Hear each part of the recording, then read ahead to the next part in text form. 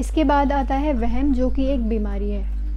मिसाल के तौर पर, किसी ने वज़ू किया और उसको वहम होने लगे कि मैंने वज़ू सही किया है या नहीं, या वज़ू टूट तो नहीं गया, या इसी तरह से लोगों को वहम होने लगता है कि गैस स्टोव बंद किया या नहीं, लाइट ऑफ़ की या नहीं, या बार बार लॉक चेक करना वगैरह। तो ये सब वहम में शुमार होगा।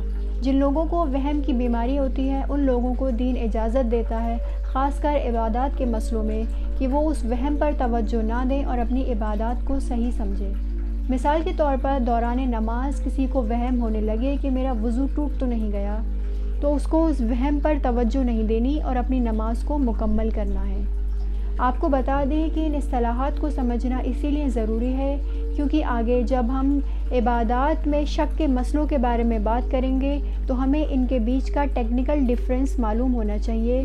जिससे हमें पता चलेगा कि हमारी अमल की सेहत पर क्या असर पड़ रहा है।